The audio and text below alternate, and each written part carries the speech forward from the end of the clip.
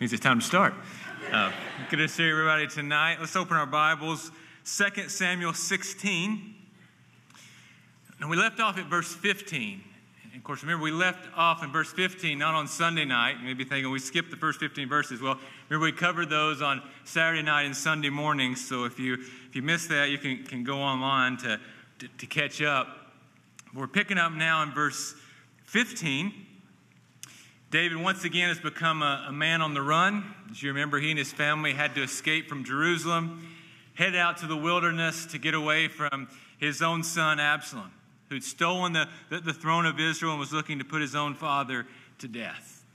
Again, it's, you just let that settle in. Right? It's, it's not that his son just, you know, took the car, you know, for the weekend without telling dad. Right? He's trying to kill his own father. That's the place that, that David is in. And to add further insult to injury, David, you remember, made his way out of the, of the city. Found himself essentially being treated like a punching bag by this guy by the name of Shimei, a family member of Saul, who was using David's difficulty as an opportunity to heap curses on him, throw rocks at him as he was escaping.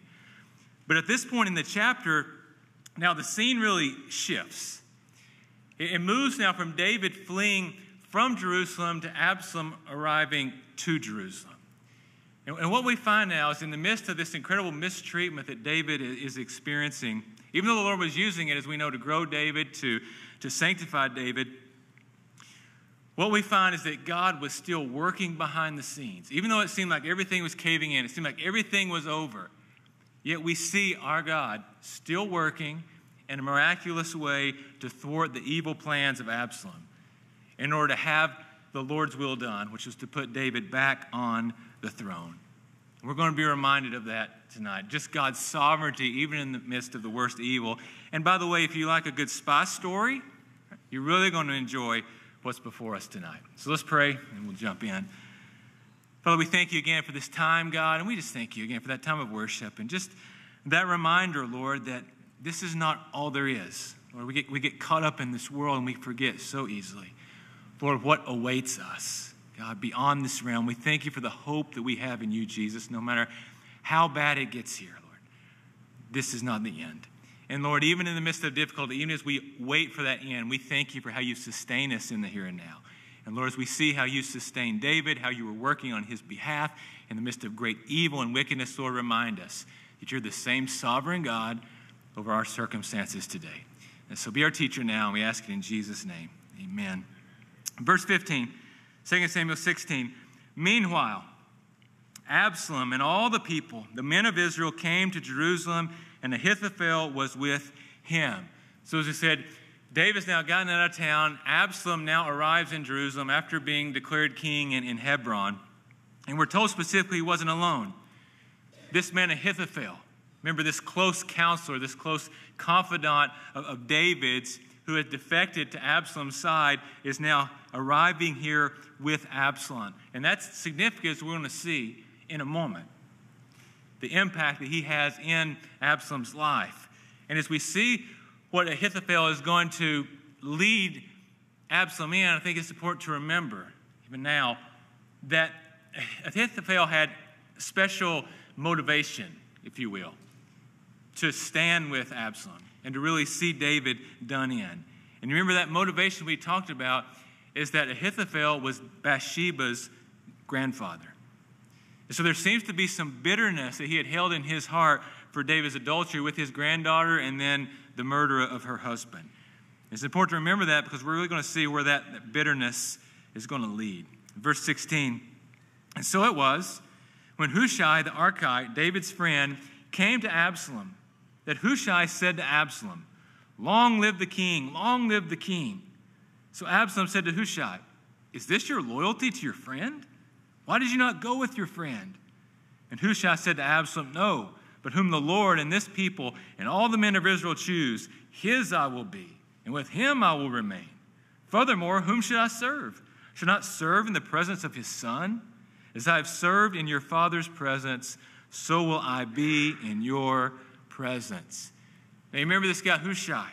He, he was the guy, seems to be an older, older gentleman who came to David. David's escaping Jerusalem. He hit the Mount of Olives. And remember, this, this guy shows up with his robe torn, with dust on his head. he comes in this state of grieving, mourning over what had happened to, to David, definitely on David's side. And he comes wanting to go with David, support David. Remember, David says, No, no, really, you're going to be more of a burden if you go with us, trying, trying to keep up. But what would be a blessing is if you would go back to Jerusalem and if you would go and present yourself to Absalom and place yourself as a spy in his court. Go back Pledge yourself to, to Absalom as king so you can hear, you can, you can see what's happening, and then you can get word to me so we can thwart the counsel of Ahithophel. So Hushai agreed to this plan. He became a secret agent for David. Remember, David had prayed, Lord, when he found out Ahithophel had defected to Absalom, he said, Lord, turn the counsel of Ahithophel into foolishness. And the very next thing that we read in the scripture was that Hushai showed up. He was the answer to that prayer. And we'll see how God uses him here. But now, when he, when he arrives back to Absalom, initially we see that, that Absalom is taken aback. What are you doing here? Why aren't you sticking with your friend David? Where's your loyalty to him? He begins to question him. And Hushai says, No, no, I'm standing with the one the Lord and the people have chosen to be king. So Hushai, he, he lies to Absalom that, that he's on his side. He conceals his identity as a, as a good spy. Now, was it right or wrong for him to do this? I'll let you argue that. Right or wrong, what we do know, though, is that the Lord uses it. Again, I'm not saying God condoned it, but he does use it. Now, now some will even point out, some commentators will say, well, well, he didn't technically lie. He didn't technically say he was on Absalom's side. They say verse 18 could be a reference to David. They could just say, I'm standing with the one the Lord has chosen, meaning I know God's really chosen David. I know the people really chose David. And then some say, verse 19, he just basically says, I will serve in your presence. He doesn't say, I'll serve for good. He just says, I'll serve. Now, again, it's clear what he's insinuating, but again, that's what some propose. But either way, Absalom, no doubt, I believe, blinded by his pride, we've seen that's a huge issue for him. He quickly believes, well, well, of course, right? I mean, Ahithophel transferred allegiance, so why wouldn't Hushai want to be around a great guy like me? And so he accepts him into his court, he allows him to remain, and David has his plant now in Jerusalem. Verse 20 Then Absalom said to Ahithophel, Give advice as to what we should do. And Ahithophel said to Absalom, Go into your father's concubines, whom he has left to keep the house, and all Israel will hear that you are abhorred by your father. Then the hands of all who are with you will be strong. So they pitched a tent for Absalom on the top of the house, and Absalom went into his father's concubines in the sight of all Israel. So again, Absalom arrives in Jerusalem. David's already gone. He's missed him. So he turns to Ahithophel. Okay, what's our next move? Well, what do we do now to solidify the throne, to solidify my rule? And what a move. What counsel Ahithophel gives him. Go in and take your father's concubines. Now, we know from history this is something that kings would, would often do when they took over a kingdom to utterly humiliate the old king. And also, as Ahithophel says, this would eliminate any possibility of reconciliation with David. If any of those following Absalom had in the back of their mind, we're following him, we're, we're joining this rebellion, what if, what if Absalom decides, you know what, I kind of like my dad. You know, I'm done with this. I'm just going to go and join back with dad. And then we're done for. Now, now we're going to be put to death because we joined in this thing we're not his kid. Ahithophel said, That will let your men know there's no way you will ever reconcile with your dad. This will show how serious you are about kicking him to the curb. And they will be strengthened to follow you.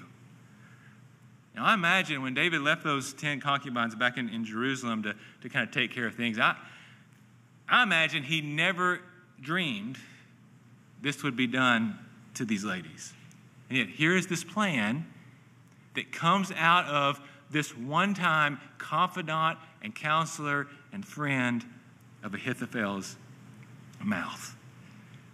And I believe what it seems to show us is just how much that bitterness had affected Ahithophel's heart. That bitterness that he had held on to over what David did to, to his family has now taken such a deep root in this man. He's counseling Absalom to do 10 times worse than what David did to his own granddaughter. He calls Absalom to commit adultery and ultimately rape that's 10 times worse than David ever committed with Bathsheba. When you think about that, that concern that he no doubt had for his granddaughter doesn't seem to translate to any concern for these 10 ladies who were someone else's granddaughter. I think it really just shows us something that the Bible teaches us over and over again. One more example over here shows us what allowing a root of bitterness to reside in our hearts will do to us. That bitterness that we allow to, to settle in our lives will take us to places and lead us to act in ways that we may have never imagined we could ever go.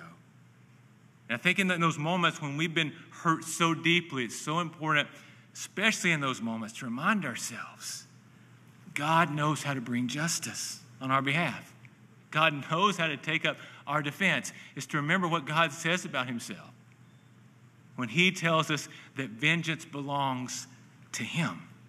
He knows how to deal with those who've done us wrong. And when we hold on to that anger and we try and take matters into our own hands, it becomes very dangerous for our own lives. Now, would this plan hurt David? Absolutely. It will hurt David.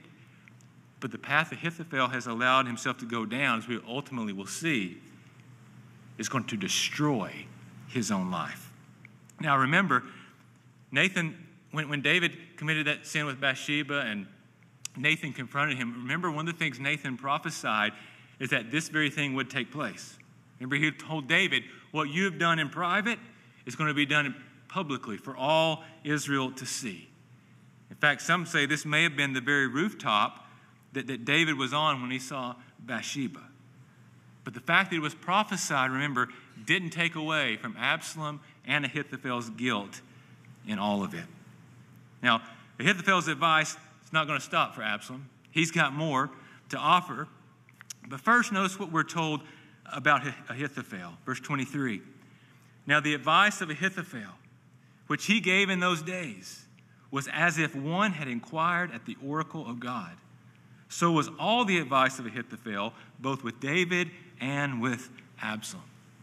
We have this kind of parenthetical note here that the, the Holy Spirit has the writer give us concerning Ahithophel. Want us to understand this is not just some random guy. I mean, this was the guy who everyone listened to. He had the highest reputation when it came to giving good counsel. And, and even now, even though Absalom isn't giving godly counsel, from a worldly perspective, it was good counsel. This was the way to show the, the people you're making a clear break from your father. And if they follow you, they don't have to worry about you reconciling with dad and they're hung out to dry and put to death because they were part of a rebellion. This was good worldly advice. And he's going to give more right counsel in, in just a moment, even though, again, it's in an ungodly sense.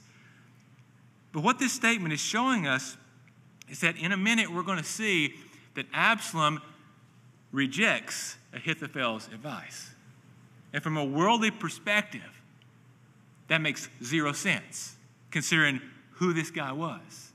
That what he said was the right move. Man, always been the godly move, but it was the right move.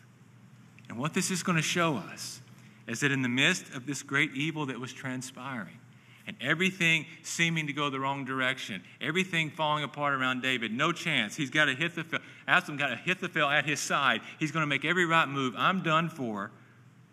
As we're going to see, what this shows us is that God was still on the throne. And he was still in charge, even in the midst of this great evil. Verse 1, chapter 17. Moreover, Ahithophel said to Absalom, Now let me choose 12,000 men I will arise and pursue David tonight. And notice Ahithophel's heart to take out David. Again, he's a counselor, but right now he's ready to be a warrior. Why? Because he has the opportunity to take down David. So he says, Let me get an army. We're going to go and we're going to hit him tonight. He says in verse 2 I will come upon him while he was weary and weak and make him afraid. And all the people who are with him will flee, and I will strike only the king. Then I will bring back all the people to you. And when all return except the man whom you seek, all the people will be at peace. And the saying, verse 4 says, pleased Absalom and all the elders of Israel. Again, from a worldly strategy, this was an excellent plan. He said, I'm going to go and I'm going to strike David immediately. Now, you notice there's a lot of eyes in this. I will come upon him. I will strike him. I will bring him back. Again, he, he wants to do David in. But it's good wisdom. David, as we know, is on the run. David's weary. David's an emotional train wreck at this point. He doesn't have his bearings about him. We read of the emotional distress he's under. This was the right time to strike. And not only was the advice to strike immediately, but you notice it was to strike surgically. I'm going to go in now, and I'm only going to kill David, Absalom. I'm going to spare the rest of the people. And so when I bring them back, they're going to see we preserve their life, we protected them, so they're going to be at peace with us. They're going to be on our side. They will follow you. This was good advice. David was in no place to battle. And in the moment, we see Absalom and the leadership, they were all for this plan. They recognize this is the right thing to do. But again, what's interesting is what comes next. Even though they've got the best counselor at their side, okay, you're the best, you told us this, we're going to do this, yet for some reason, Absalom decides to get one more opinion. Verse 5 Then Absalom said, Now call Hushai the Archite also and let us hear what he says too. And when Hushai came to Absalom, Absalom spoke to him, saying, Ahithophel has spoken in this manner. Shall we do as he says? If not, speak up. And so he calls in Hushai. He begins to lay out the plan. You know, Ahithophel says we need to hit David now. He's a wreck. We'll catch him off guard. We'll preserve the people. They'll be on our side. What do you think?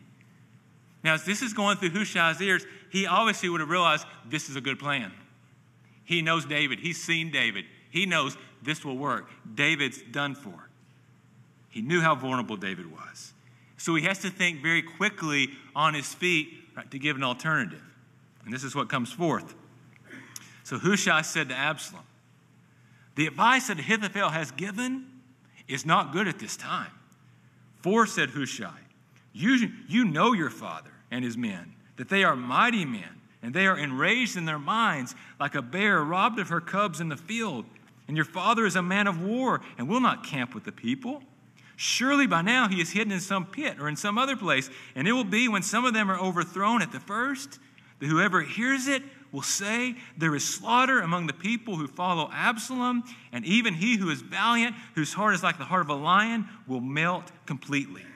For all Israel knows that your father is a mighty man and those who are with him are valiant men. Now, again, the truth was, David at this moment was a mess. But you see what Hushai does?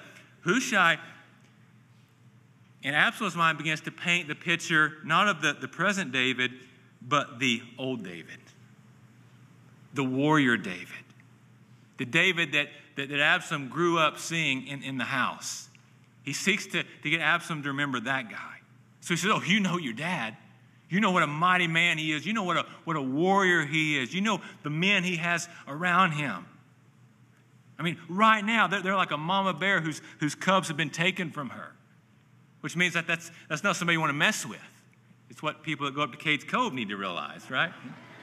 up there trying to pet this little bear cub, not realizing mama's in the woods watching all this. Right? You, you, you poke the bear, Absalom. You don't want to mess with him in this position. He's on edge. He's probably already hidden away. He's probably already strategizing how to get the upper hand. You're going to walk right into his trap. And when he strikes, the people are going to hear this. And then they're going to begin to freak out and think, oh no, Absalom's losing. He's done for. They're going to start doubting if they should stick with you. So he, he lays out this, this vision, this idea, which was true of David at one point in his life, but not at this point. And in light of that, he now offers an alternative plan. Verse 11, he says, Therefore, I advise that all Israel be fully gathered to you, from Dan to Beersheba, that is, from the north to the south, like the sand that is by the sea for multitude, and that you go to battle in person. Notice that. We'll come back in a moment. So we will come upon him in some place where he may be found, and we will fall on him as the dew falls on the ground. And of him and all the men who are with him, there shall not be left so much as one. And moreover, if he is withdrawn into a city, no big deal, then all Israel shall bring ropes to that city, and we will pull it into the river until there is not one small stone found there. So instead of this quick, immediate strike, Hushai says, Here's what we need to do. You know, your dad's ready. We need, we need to take our time. And Absalom, you need to gather up an even greater army. Forget, forget 12,000, right? We, we need thousands upon thousands. So when we go after David, we just completely overwhelm him. Like, like, like, the, like the sea on the, on the seashore, or like the sand on the seashore. Just sheer numbers overpowering him. You'll be able to crush him at that point. And if he tries to hide away in a city, we'll have the manpower to just obliterate that entire city, and David will be annihilated. Now, of course, Hushai is saying all this simply to buy more time for David. It would take time to gather a bigger army, and so he's trying to stall Absalom. The longer David gets, the more prepared he will actually be. And, and within this, as, as we noted back at the end of verse 11, you notice Hushai calls upon Absalom to lead this attack. He says, and you go to battle in person. Don't, don't send Ahimelech. Don't let him go for you. No, you go. And you show yourself a mighty warrior. You show yourself as a, a chip off the old block. That your dad David has nothing on you when it comes to, to military power, of course, which seems to be an attempt to play on Absalom's pride. Again, Hushai knows this is a weak part of this man's life. And as the Bible tells us, of course, pride, I'll get it right in a minute. Pride goes before a fall. And that's exactly what awaits Absalom. But again, knowing the facts. If you weighed these two plans together, Ahithophel's was the correct counsel in order to take David out. This was the right time to strike. It was obvious, it was clear. But it's not the decision that Absalom makes. Verse 14. So Absalom and all the men of Israel said, the advice of Hushai the Archite is better than the advice of Ahithophel. And here's why I said this For the Lord had purposed to defeat the good advice of Ahithophel to the intent that the Lord might bring disaster on Absalom. The reason was not because it was better advice. The reason was because the Lord had purposed. Reminds us of Proverbs 21, verse 1, that says, The king's heart is in the hand of the Lord. Like the rivers of water, he turns it wherever he wishes. As Absalom is seeking to carry out this evil plan, and he has everything on his side all the resources, he's got the best counselors, he's got all the momentum. Yet we see the hand of the Lord superseding all of it and shifting his heart to do exactly what the Lord had intended. And it looked like David was done for. He's a sitting duck. Darkness has won. But the Lord was working behind the scenes to turn Absalom's heart to receive what was really bad advice in order to stop this rebellion from Absalom. And I think what an important truth to, to have our hearts reminded of tonight. As we look at the evil that is in motion by governmental leaders today in our world, in our nation and, and the wicked plans that they seek to, to, to, carry out. And you can look at these things and you see the momentum of these things, and, and you easily just feel like things are so out of control. I mean, darkness has just consumed everything. There's no hope. When, as we're reminded here in 2 Samuel 17, the fact is our God's still on the throne. He still has charge over the worst administrations. And I think we especially need that reminder here at election time. Now, we need to vote and we need to, to seek to elect the most righteous candidate. We can't elect a fully righteous candidate because Jesus isn't running. Right? So our, our next best is to seek to elect the most righteous. Why? Because the scripture tells us righteousness exalts a nation, but sin is a reproach. It's a disgrace to, to any people. And so we, we seek to, to elect and, and focus on the most righteous, but the fact is, no matter how things turn out, And no matter how much those who have evil intentions, like an Absalom, are in power, we're reminded here the Lord's purposes still reign. And no matter what human may be on the throne, as Daniel declared, it's the Most High that still rules in the kingdoms of men. And we have a great example of that here with David and with Absalom. Verse 15 Then Hushai said to Zadok and Abiathar the priest, Thus and so Ahithophel advised Absalom and the elders of Israel, and thus and so I have advised. Now remember what's going on here. Remember Zadok and Abiathar, the, these priests. These were the guys, they, they had come to David in the beginning too when he was first fleeing from, from Jerusalem. Remember, they came out carrying the ark and they were going to go with David, and David said, No, take the ark back. I'm not going to trust in this, in this symbol. And by the way, as you take the ark back, why don't you guys stay in Jerusalem as well? And you can, you can seek the Lord to hear his voice. And then you can, based on what you hear, then you can get word to me, remember, through, through your sons. And so they had been sent back. And when, when Hushai had come to David, David reminded him, Hey, Hushai, I'm sending you back. But remember, you're not alone. I've already got two guys there, t- two priests, and with their ears open, with their eyes open as well. And so Hushai now, in connection with these guys, he passes on the plan that Absalom had agreed to, but letting David know here's, here's what Ahithophel is, is, is saying, wants to do. And they're now going to get the message out to David. Verse 16 Now therefore, send quickly and tell David, saying, Do not spend this night in the plains of the wilderness, but speedily cross over, lest the king and all the people who are with him be swallowed up. And when he says cross over, he's talking about crossing over the Jordan River. So he's saying, David, you need to run as fast as you can. Get away as fast as possible in case, in case Absalom changes his mind in case this, you know, he's able to get an army that you know happens quicker than we are expecting. Run as far away as you can. Use this delay to get more distance between you and him to protect yourself. Verse 17. Now Jonathan and Ahimaaz stayed at En Rogel, for they dared not be seen coming into the city. So a female servant would come and tell them, and they would go and tell King David. Now, Jonathan and Ahimaaz, these were the sons of Zadok and Abiathar the priest. These, these were, were the runners. And so, again, you step back, you had quite the spy ring going on here, don't you? I mean, this is quite an intricate web. You got Hushai, he's in the inner circle. He hears what's happening. He relays things to Zadok and Abiathar. They send a female servant with the message to their, to their sons who are hiding away outside the city so they aren't detected. I mean, this is, this is quite the elaborate scheme going on here. But even with all this protection, we see these guys still get caught in a sense. Verse 18 says, Nevertheless, a lad saw them and told Absalom.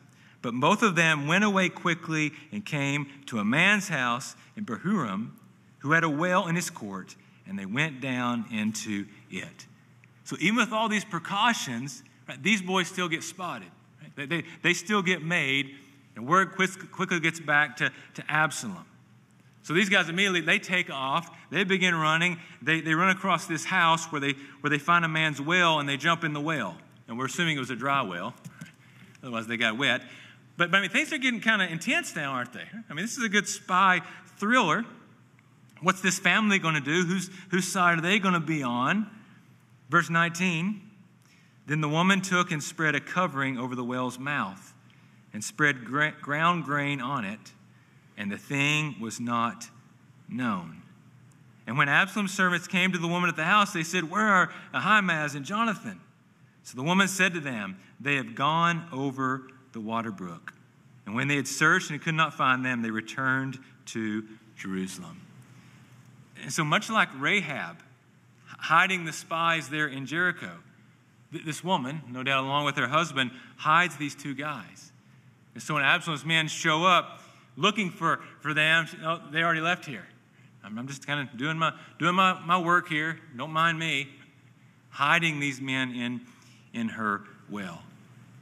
I think it's interesting that in this protection, we see that, that even though so many in the nation had turned their allegiance over to Absalom. As we read, he, the hearts of the men were turned towards him. It's interesting to note, not everyone in the nation had. And of all the houses to stop in, of all the, the wells to jump into, it's to this man and this wife whose allegiance was still to David, again, that these men seek protection from. Again, we just see the sovereign hand of God, even in the midst of this great wickedness, in the midst of this great evil. Verse 21 Now it came to pass after they had departed that they came up out of the well and went and told King David and said to David, Arise, cross over the water quickly, for thus has Ahithophel advised against you.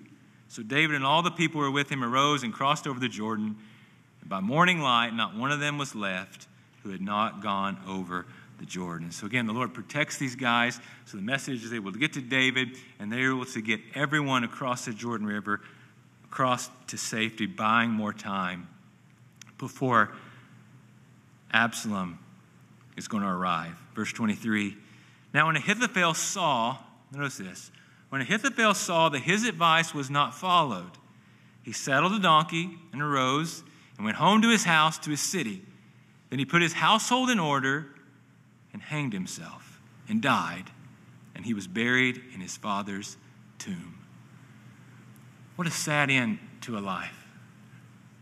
A life that had been used so valuably. I mean, a life who had the privilege of being right beside King David, the greatest king in Israel's history, to have a seat right beside this man after God's own heart, to be able to speak into his ear, to be able to, to help him know the will of the Lord, to have that incredible privilege, and now to end up this way. Some people think that he killed himself because he felt disrespected, that Absalom would, would choose to follow Hushai over him. And, and maybe there was some of that, but, but I lean to the fact that it seems more likely that what's going on here is he recognized since Absalom chose Hushai's plan, it meant Absalom would fail. The rebellion would be crushed. And thus Ahithophel would be exposed as a, as a traitor. And so he just went ahead and ended his life, knowing what the outcome was going to be. I mean, he knew this was a bad plan.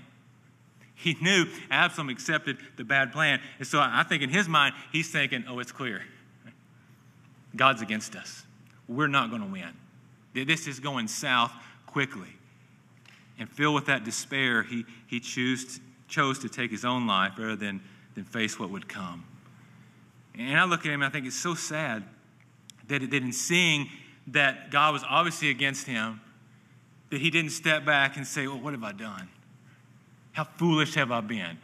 And God at least tried to, to confess his sin to the Lord and, and, and to David and seek the mercy of David. He knew how merciful David was. He knew the mercy that he'd, he'd shown to all of Saul's house. But instead of seeking that, that mercy, he thinks, what's the point? There's no hope. And of course, that's what the enemy always wants to make us think, isn't it? You, have gone too far. You, have just done too bad. forget it. There's no hope for you. There's no chance for you to, to, to confess and repent and receive grace. You might as well just end it. You might as well just forget it. You might as well just throw in the towel. Again, that's the mark of the enemy. He still wants to speak to our lives. Don't, don't let him lie to you like that. No sin is too far gone. There's no sin that God can't forgive.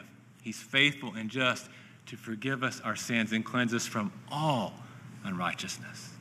God says, Come, let's reason together. Though your, your sins are as scarlet, I'll wash them whiter than snow.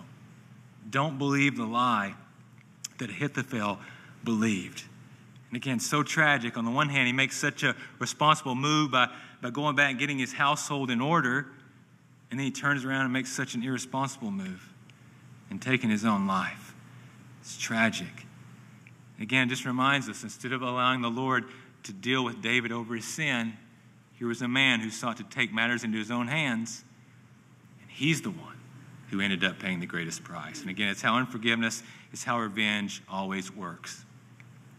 And of course, as we see this one time companion of King David who walked closely with him, betraying him, then took his life, we can't help but think of the prophetic picture it is of Judas, who would walk so closely with King Jesus, and how his life ended after betraying the Lord as well.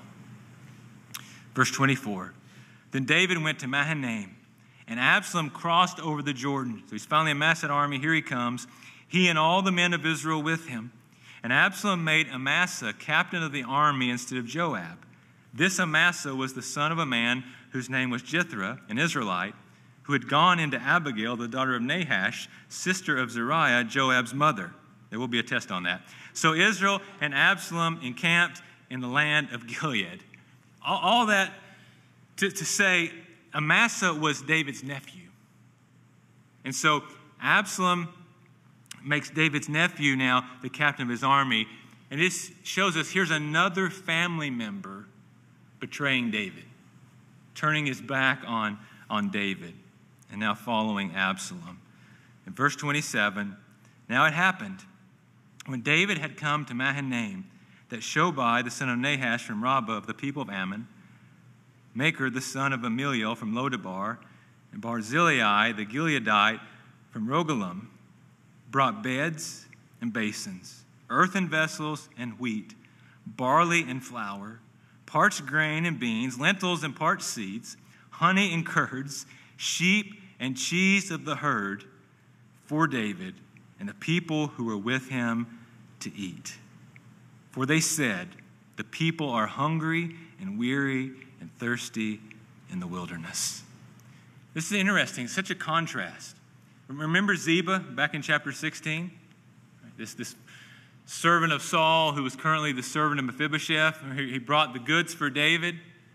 I'm here, I heard you're coming out, and I'm here to, you know, bless you. Remember, he wasn't to bless him, right? It was to, to trick him, make him think Mephibosheth had rejected him so he could steal and take all that was Mephibosheth's. Whereas he came with improper motives these three guys now show up with these possessions with pure motives. These guys truly wanted to bless David. They truly wanted to, to provide for, for him, to meet his needs. We read of these three guys, Shobai.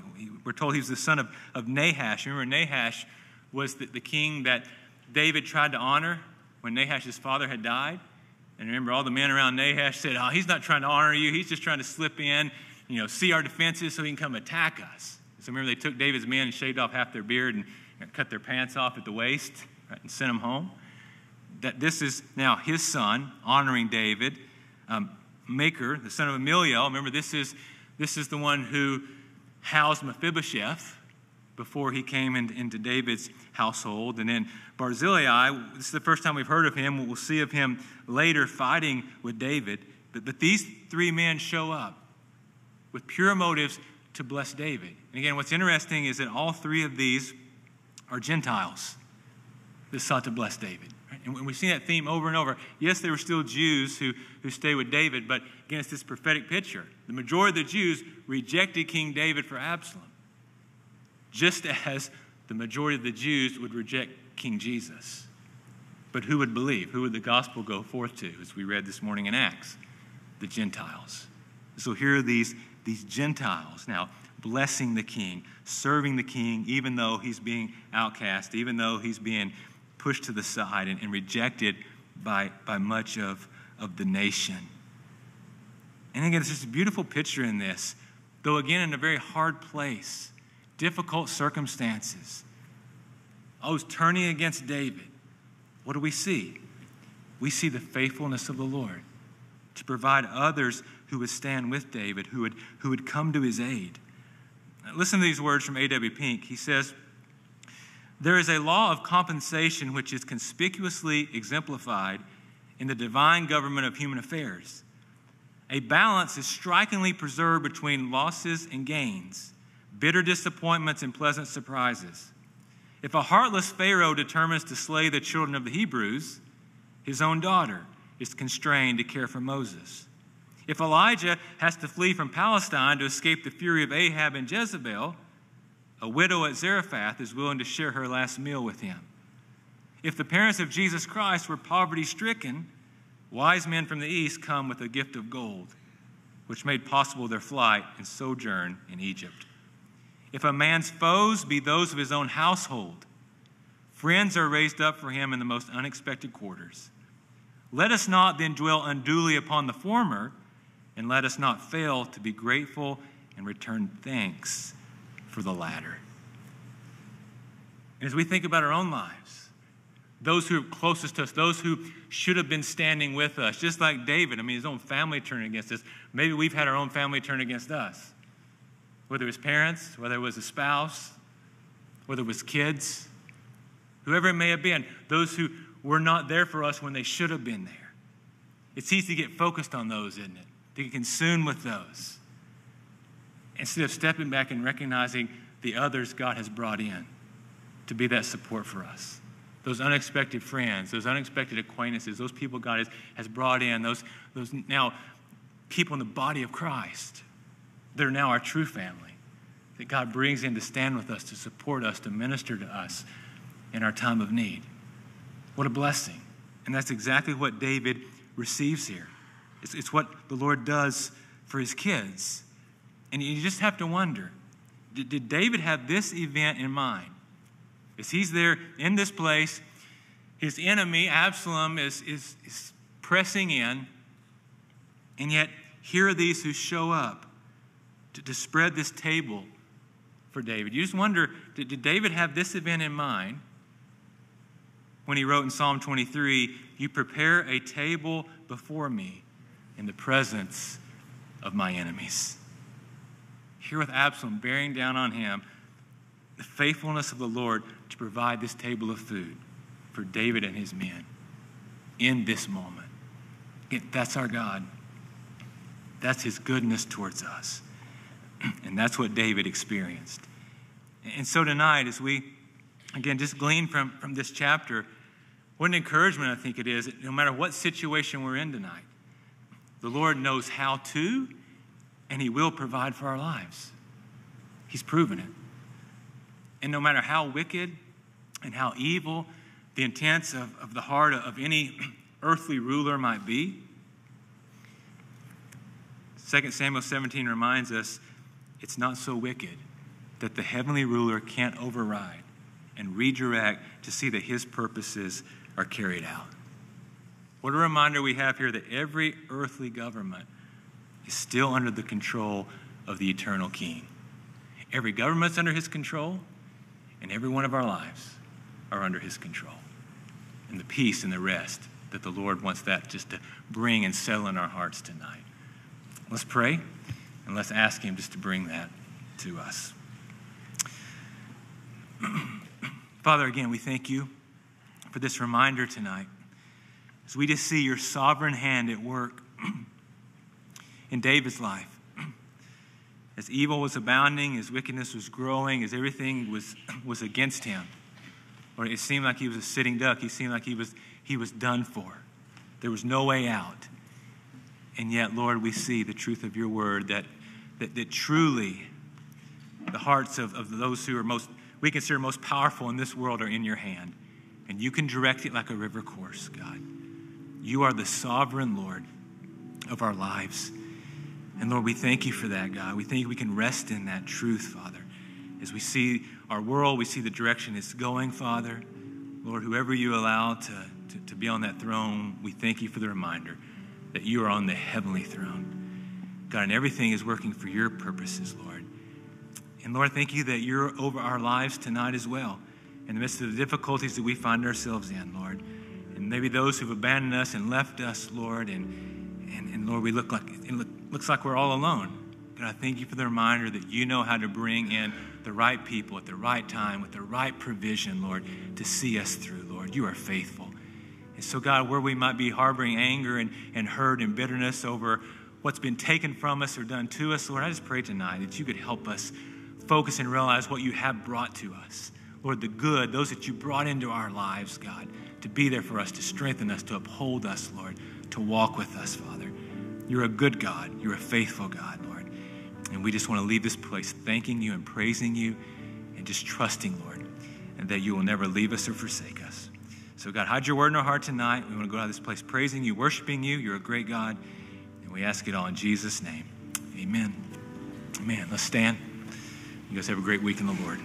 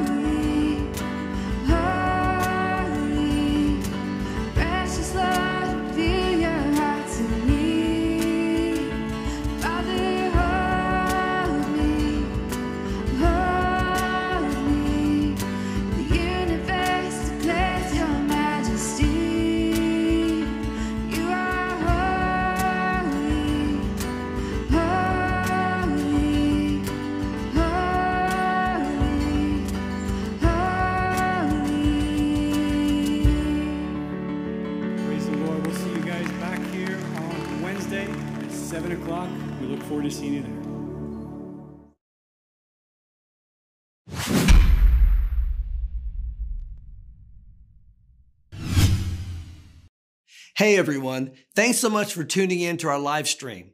We love and appreciate every one of you. If you're in need of prayer, please call the number on your screen or visit the prayer page on our website and let us know how we can pray for you. If you're into social media, be sure and follow us on Facebook, Twitter, and Instagram. Also, subscribe to our YouTube channel and ring the bell to be notified when we go live or post a new video. And lastly, you can download our church app by going to calvaryknoxville.org slash app. Thanks again for watching and God bless.